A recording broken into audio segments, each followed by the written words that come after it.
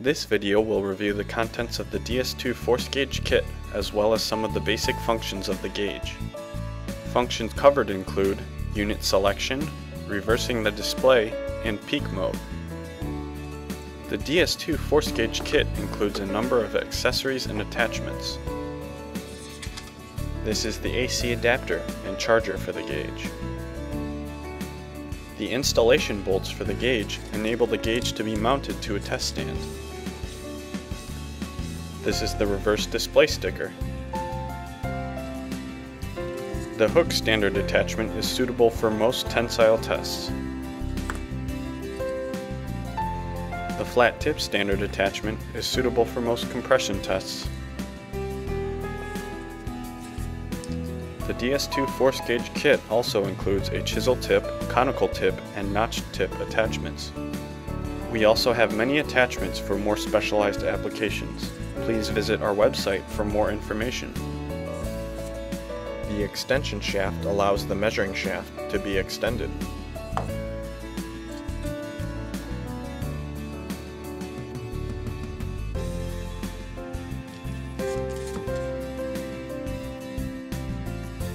Selecting units. Turn off the gauge. Hold 0 and press on once. Press 0 to cycle units. Press send to select.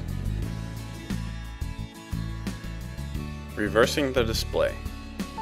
Turn off the gauge. Hold 0 and press on once. Press peak to cycle between standard and reverse display. Press send to select. For easier readability, the reverse display sticker can be attached to a gauge mounted to a test stand. Selecting peak or real-time measuring mode.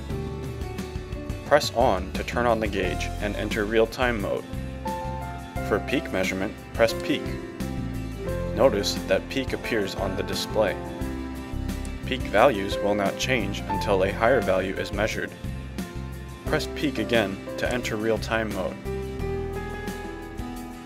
The DS2 features RS-232, Digimatic, and analog outputs. For more information about cables and data acquisition software, please visit our website. All new gauges come with a certificate of calibration traceable to NIST. Thanks for watching.